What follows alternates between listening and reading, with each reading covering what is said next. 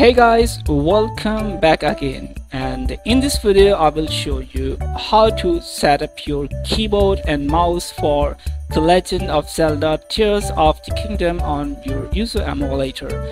I will show you in this video complete setting for setup of keyboard and mouse for the legend of tears of the kingdom on Yuzu emulator. So let's start guys. But before starting this video please do not forget to subscribe my channel. I really need your support guys. Please subscribe and let's start guys.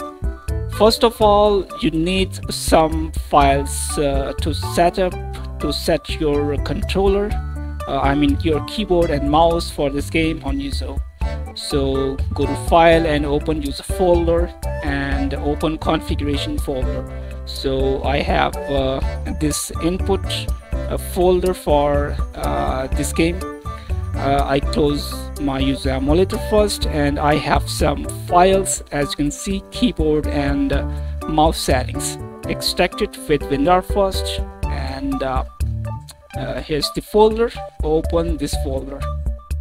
And I have a a new file extracted with WinRAR first and uh, open this folder and open this folder.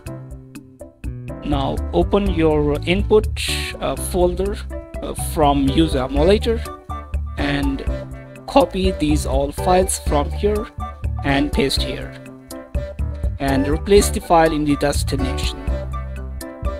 Now it's done.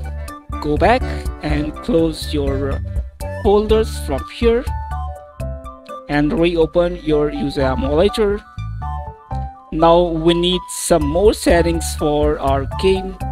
Uh, The Legend of Zelda Tears of the Kingdom on Yuzu for controller. I mean keyboard and mouse. And go to emulation and configuration. And go to controls. And you need to select keyboard and mouse from here. Already selected and click here select uh, TOTK mouse and KB select it.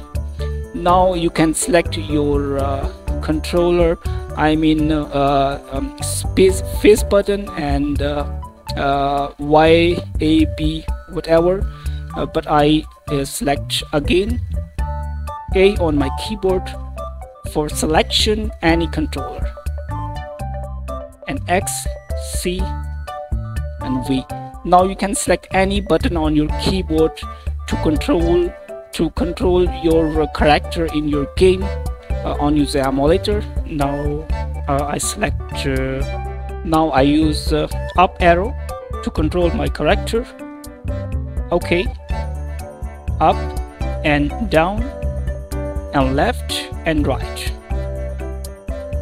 And uh, okay now go to emulation again and configuration and general and hotkeys.